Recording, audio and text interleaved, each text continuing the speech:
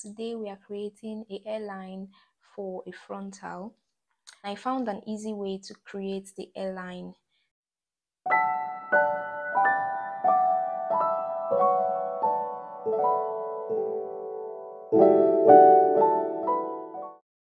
Hey lovelies, welcome back to my channel. Today we are creating a hairline for a frontal. If you're new here, you're welcome once again. My name is Bibra and I am your wig blog. On this channel, I share hair tips, wig tips, DIYs, and tutorials. So if you're yet to subscribe, please do well to hit that subscribe button and turn on post notifications so you'd always be the first to get notified whenever I upload new content. This is a 13 by 4 frontal and I found an easy way to create the hairline so watch this video till the end if you want to find out how I did it okay? After placing my lace net on my dummy I'll go ahead and create the hairline for this frontal. This is a continuation from my previous video on how to make a frontal pattern. I'll be using this string. It's a hair accessory used for braids. I'll be using it to highlight how I want my hairline to look you can go for a straight across look or you can go for a custom look depending on the hairline you're trying to create like what I'll be doing in this video. So I'm placing the string and securing it with pins. I'm placing it under the lace net. Okay. You can also use a pen or a marker to highlight how you want your frontal to look before you place your lace net I'm using a string because I want to be able to change the pattern of my hairline whenever I want to make a frontal. So I placed it just above where I made my markings. I started from the center and I'm taking it to the side and I'll do this for this side and for the other side as well.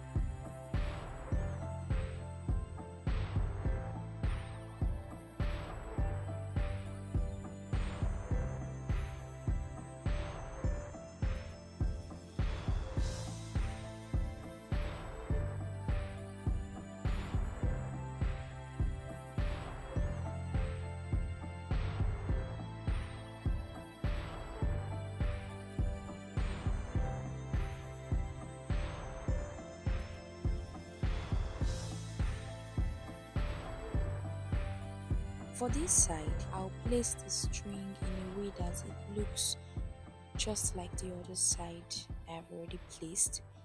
You want to make sure that it looks like the other side or looks almost like the other side. Okay. The good thing about this string is using this string is that you can always adjust if you feel like it's not as accurate as you want it to be. But if you use a pen, adjusting and adjusting will only make it look messy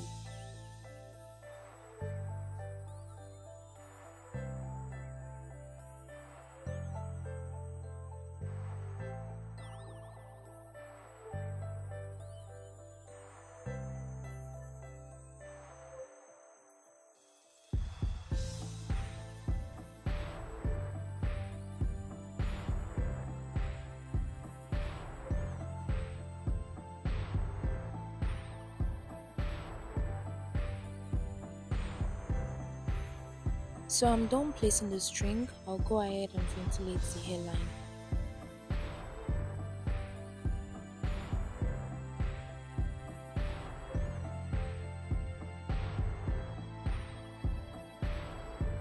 When it's 1 inch away from the highlight I made, I'll ventilate in a different way. Normally, I give a space between each vertical and slant line for this frontal but on this 1 inch space I'll ventilate randomly, that is in any hole I decide. Doing this helps create a natural finish.